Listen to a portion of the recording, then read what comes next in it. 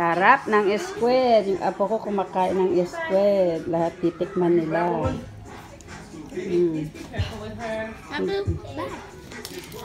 Masarap.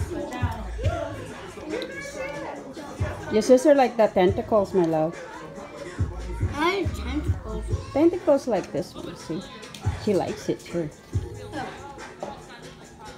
Hindi sila, yung lahat ng apo ko titikman nila. Sabi sa yung kasing turo namin, titikman kung hindi nila malalaman. Hindi nila malalaman kung hindi nila titikman. Gustuhan niya rin squid, oh. Walang jet rocks. Naubusan daw. You need to eat it with rice so you get full. Mm, yan, kumakain din yung bunso. Hindi siya pinakabunso-bunso yung kanina yung baby. That's a puset. Say puset. Puset? Yeah, eat rice with puset.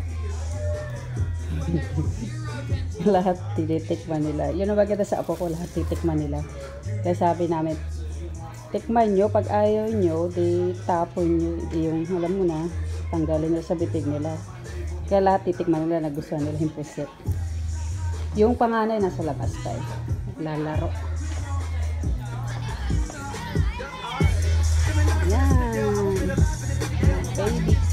Baby ko sa kaibigan niya doon. Love you.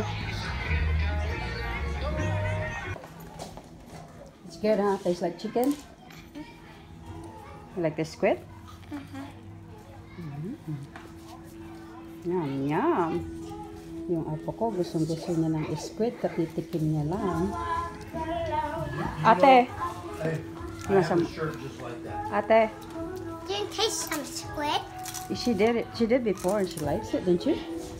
Want subo? You not yet?